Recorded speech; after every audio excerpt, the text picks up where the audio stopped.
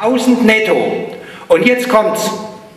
Wenn die Leute 40 Jahre lang bei Pfennig arbeiten, mit 63 erst in Rente gehen, was glauben Sie, was die an Rente kriegen? 500 Euro. 500 Euro. Und wenn Sie 300 Euro Miete zahlen, dann bekommen Sie vom Staat 750 Euro Grundsicherung. Das heißt, die Leute haben ihr ganzes Leben bei Pfennig gearbeitet und der Steuerzahler zahlt ein Drittel der Rente. Und wer sind die? Sie sind das. Wir sind das. Das heißt,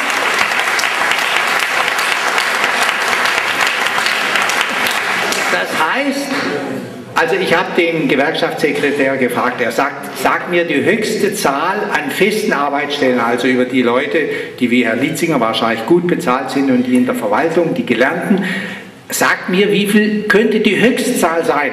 Und er sagt also, in Firnheim sind nach seinem Wissen im Moment fünf Handwerker beschäftigt. Fünf von 300 Beschäftigten. Fünf Handwerker. Das heißt also, wenn die auf 100 kommen, halte ich es viel. Ich werde jetzt mal, weil wir ganz vorsichtig sein wollen, von 100 bis 200 ordentlichen Arbeitsverhältnissen ausgehen. Dann haben wir also 300 Leute, von denen wir heute schon wissen, dass die im Alter von der Allgemeinheit unterstützt werden müssen, obwohl sie ständig bei Pfennig gearbeitet haben. Und jetzt geht es ja, das, das ging ja gerade noch, jetzt kommen die Leiharbeitnehmer. Die Leiharbeitnehmer, das weiß zwischenzeitlich jeder, kriegen immer noch weniger. Randstadt, eine relativ ordentliche Verleihfirma, zahlt 7,38. 7,38 Euro, sagen wir 7 Euro, dass man sich das überhaupt merken kann. Das sind dann im Monat keine 1000 Euro und Sie haben dann eine Rente mit 63 nach 40 Jahren Einzahlung von nicht einmal 450 Euro. Der Rest zahlen Sie. Und was die meisten nicht wissen, es sind keinesfalls nur die Ungelernten, die in der Leiharbeit sind. Über 60 Prozent derjenigen Leiharbeit sind gelernte Leute. Drei Prozent haben sogar Hochschulabschluss. Nur der Rest ist ungelernt. Die haben zum Teil einfach Pech gehabt. Und jeder achte, jeder achte Leiharbeitnehmer in der Bundesrepublik braucht immer wieder Unterstützung des Staates. Von Ihnen, von vornherein. Das heißt also, die 250 Leute, die da bei Pfennig arbeiten, wenn sie überhaupt die 38 kriegen, das glaube ich gar nicht, dass die so gut bezahlt werden. Die werden sicher schlechter bezahlt. Ich habe es nicht rausgekriegt. Das mit den 18, sagt mir der Gewerkschaftssekretär, er hat schon mehrfach Leute bei sich gehabt, die waren immer ein bisschen über 8 Euro. Denn Pfennig ist ja aus dem Arbeitgeberverband ausgetreten und da ist der Lohn über 10 Euro. In Hessen, in Baden-Württemberg 13. Das heißt, Pfennig spart und wer soll es zahlen? Wir. Und das ist leider immer noch nicht alles.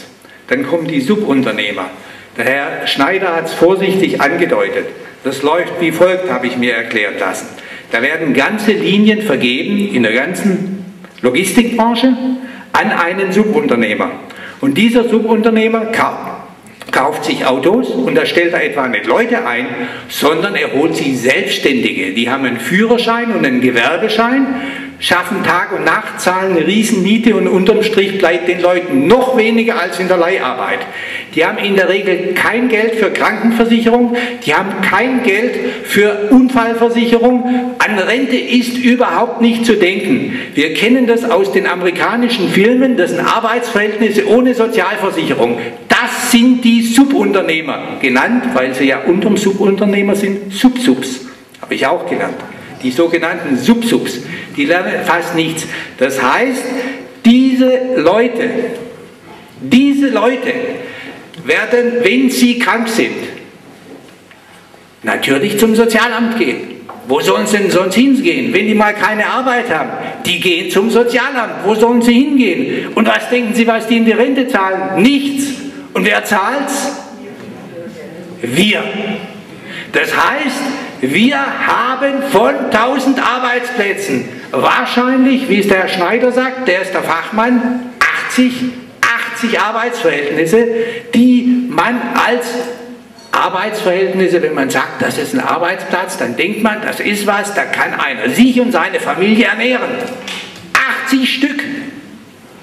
Und das ist meine, ich bin ja viel zu laut geworden. Ja, da bleibe ich nicht. Es kommt übrigens noch dicker. Ich habe noch viel feinere Sachen. Ja. Aber jetzt mal das zur Branche. Das ist die Logistikbranche. Und ich knüpfe da nochmal an an das, was Herr Bowin gesagt hat, dass wir uns schon überlegen müssen, ob wir vor allem Logistiker hier in Hildesheim haben wollen. Also ich fasse jetzt nochmal den Teil in aller Ruhe zusammen. Und ich bitte Sie, dass Sie das mit allen anderen, die Sie kennen, besprechen. Diese Veranstaltung, die am Freitag stattfindet, habe ich heute gehört, da darf man nur Fragen stellen. Da habe ich keine Chance, sowas hier zu sagen. Die IG ist ja zum Teil gefragt worden, warum macht ihr da nicht mit? Die IG hätte gern mitgemacht. Sie hatte nur zur Bedingung gestellt, dass sie auch Redner stellen kann. Das ging natürlich nicht. Denn solche Wahrheiten, wie ich sie jetzt ausspreche, die will man natürlich nicht hören, denn die Bevölkerung ist doch nicht dumm. Also ich fasse nochmal in Ruhe zusammen. Wir haben gehört, der Tariflohn in Baden-Württemberg ist 13 Euro. In Hessen, die haben eben viel ländlichere Gebiete, hat es die Gewerkschaft nur auf ein bisschen was über 10 Euro geschafft. Das war dem Pfennig zu teuer, ist aus dem Arbeitgeberverband raus und zahlt seinen Leuten 8 Euro. Also für mich, da ich jetzt doch einige Zeit schon Arbeitsrecht mache und mich mit den Schicksalen der Leute dann auseinandersetze, wäre allein das ein Grund, das sage ich ganz offen, allein das ein Grund, Pfennig abzulehnen. Und ich bitte die sozialdemokratischen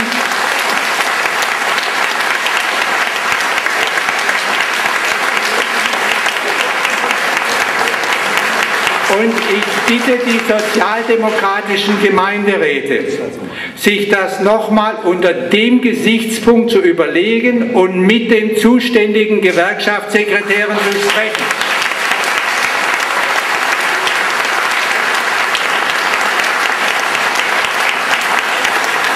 Die, so die Sozialdem ich sage ja schon Sozialdemokratie, um die überhaupt daran zu erinnern, dass die nicht nur SPD heißen.